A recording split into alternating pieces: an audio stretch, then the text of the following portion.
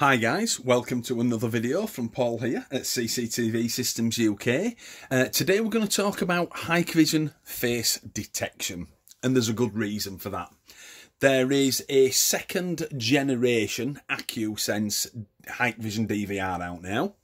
Um, the first version was okay, uh, it was quite a good DVR but the second generation also allows us to use AOC, which is audio over coax. If you have a look at our previous videos, you will see some of the cameras that are AOC. So, this is the second generation version that allows the sound to work down the coax, and of course it allows face detection to work as well. And the easiest way to identify an AcuSense DVR is by the letters that are in the model number. So this is a 16 way DVR that I've brought from the office. I brought it home, put it on my 2 million megapixel 2.8 millimeter audio over coax camera that I have in the garden. I prefer the 2 millions to the 5 million megapixel because they're a much warmer picture. So here it is. This model would usually be a DS 7216.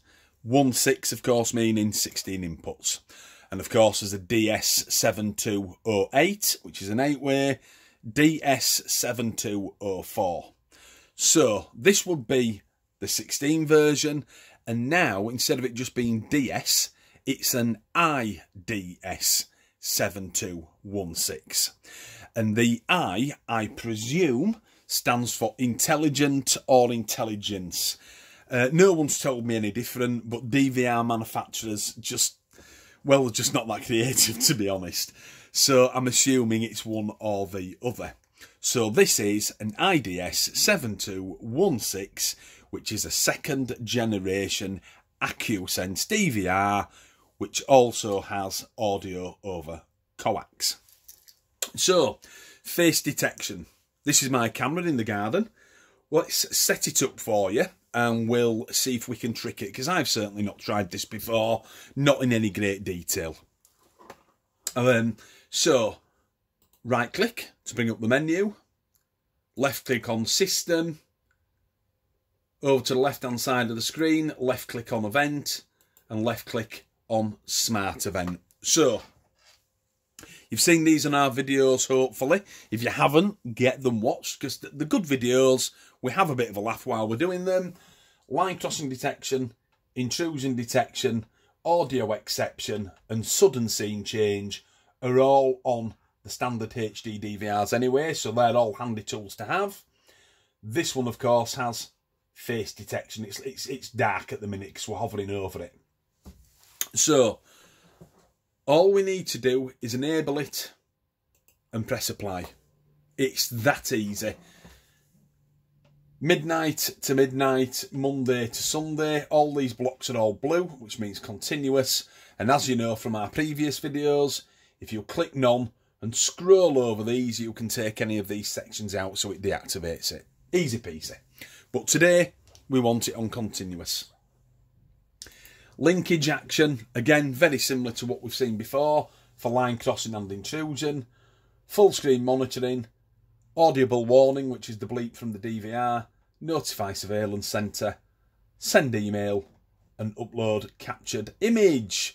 Obviously, if you've got uh, Cloud or OneDrive or whatever have you, if you set this up, off it goes and it gets saved there. So the DVR, even if it gets stolen, you've still got the image. The only thing that's different, the sensitivity here is 1 to 5. It's set on number 3 in the middle, which is how it comes from the um, manufacturer themselves, from the factory.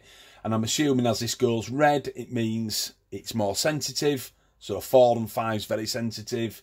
And as it goes from green to blue, 2 and 1 is less sensitive. So mess around with it to your heart's content. So the linkage is on. I'll just click audible warning because the DVR is close by. I want you to be able to hear the bleep. And we know it's activated, it's on constantly. Easy as that, it's that simple.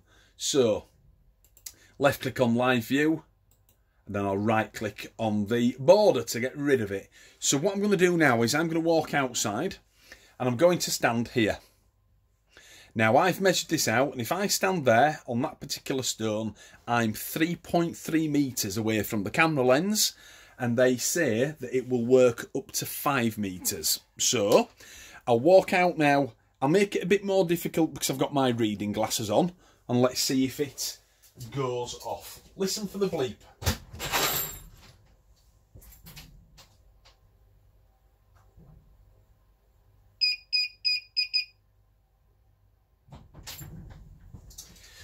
There we go. Uh, so clearly the glasses don't make any difference to this. Um, I also went out for a drive this morning because it's Sunday and I had to nip out and I had my driving glasses on my sunglasses so I brought them out of the car to test this. Let's put a pair of sunglasses on and see if that makes any difference. I'm just trying to see if we can trick the deep learning inside the Hikvision DVR to see if we can confuse it. But we'll give it a go.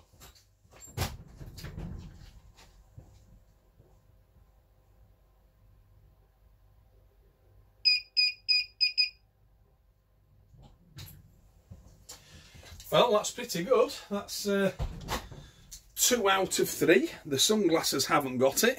So, I've uh, got a little Formula One hat here. Let's see whose name's on it.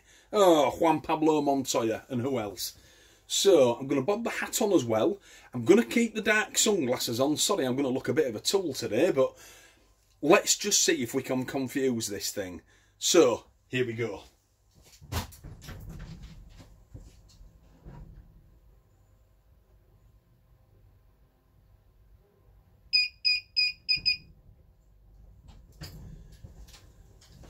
Obviously not. So, even with sunglasses and the cap on, it still takes pictures. So, that's good. Let's have a look at what pictures it's actually taken. So, if we right click, instead of going over to systems at the top where we usually go for our events, if you go over, there is smart analysis. And if you left click on there, it brings up this screen. Smart search, face search, which is what we want today, human body detection, vehicle search and counting. Human body detection and vehicle search, I'll do some more videos on those because this machine's got deep learning, allowing it to activate face detection on an analog HD camera. It also makes these possible now and far more accurate. So when you've got human body and vehicle search going and you've got a line drawn on the street or on your driveway or coming into your office car park, they are far more accurate.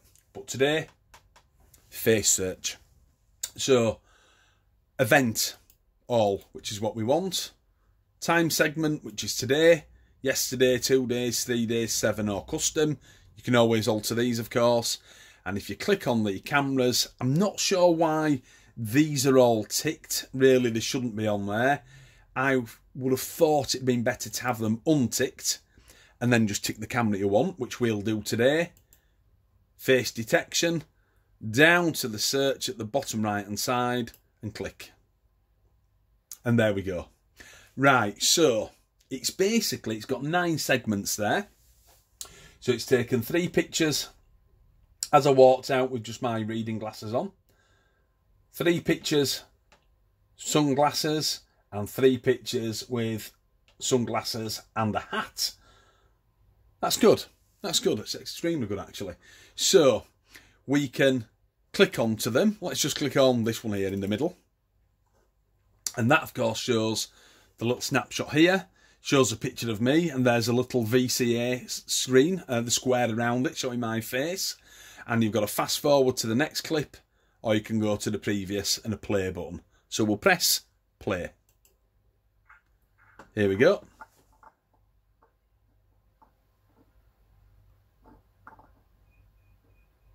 Just hear the bleep there because it's close enough to the monitor. That's good. So that's pictures up there. Uh, and of course, you can click on any of these and have exactly the same effect. You can highlight them if you so wish to and then press export So just bob a, a normal USB drive into the spare USB slot and it'll export them.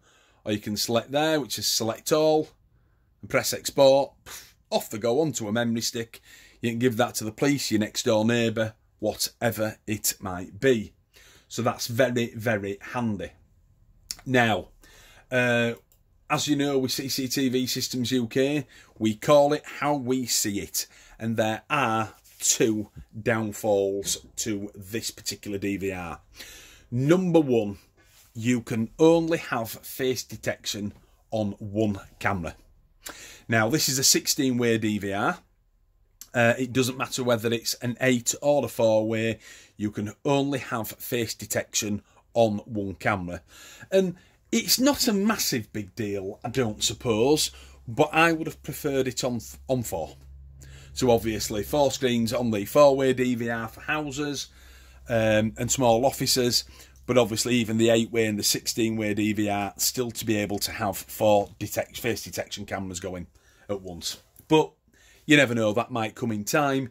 It clearly uses a lot of the uh, power from the chip inside it, and maybe that's why it's limited to just one camera.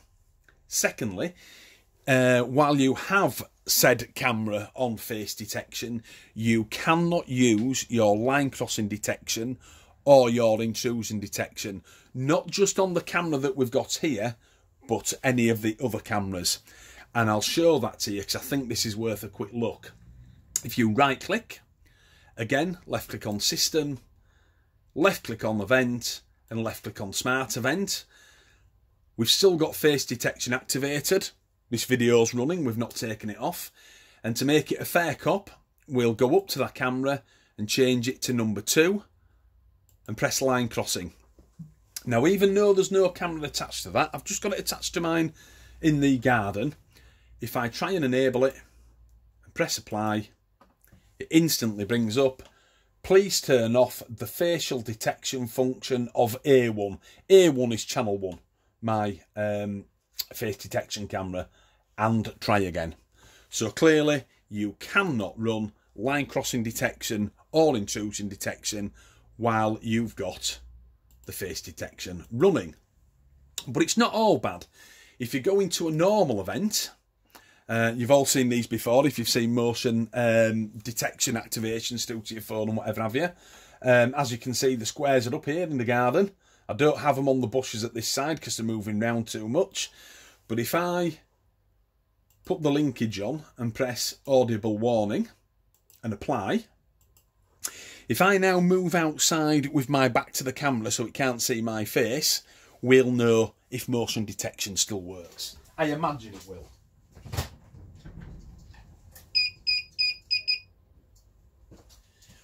As you can see, it does. So, you can only have face detection on one camera and if you've got that camera activated you cannot use line crossing or intrusion detection. But then again do you have to? I don't know but it was definitely worth mentioning. So that is the ids 7216 AcuSense DVR on a 2 million megapixel 2.8 millimeter wide audio over coax camera. And you saw the notifications that came through. Um, it's a handy handy tool to have. But this DVR does so much more than face detection. I'll get on to the line crossing detection and intrusion detection which we've covered previously on standard HD DVRs but these are much more accurate because with the deep learning inside them, which means a smarter chip in layman's terms, it can tell the difference between humans and vehicles, which is going to be very handy if you've got one of these on the front of your driveway or in a car park coming into your industrial estate or your place of work. But we'll get those videos on for you in the next couple of days. So, this is Paul logging off at CCTV Systems after a lovely video on Hikvision Face Detection. You all have a cracking weekend, I'll see you soon. Bye bye now.